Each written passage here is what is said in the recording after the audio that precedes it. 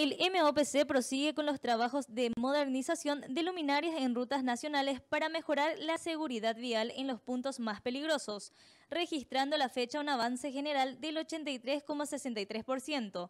En ese sentido, los trabajadores referentes a las bases ya están casi concluidos en su totalidad, en todos los puntos previstos, es decir, la instalación de los pernos de anclaje y dados de hormigón. A esto se suman 688 bases que ya cuentan con columnas, brazos y portapaneles instalados.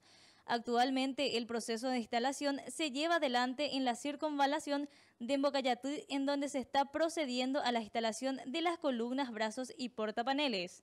Además, entre los otros puntos concluidos, montados y funcionando, se puede citar circunvalación de Carapeguá, Nueva Colombia, Paraguarí, Cruce Arroyo Cañabé, Cruce Mariscal José Félix Estigarribia, Cruce de Ruta Teucar Itapé. Según el contrato son 1.250 equipos lumínicos que se tienen que instalar en el plazo de 12 meses en varios puntos críticos de la región oriental.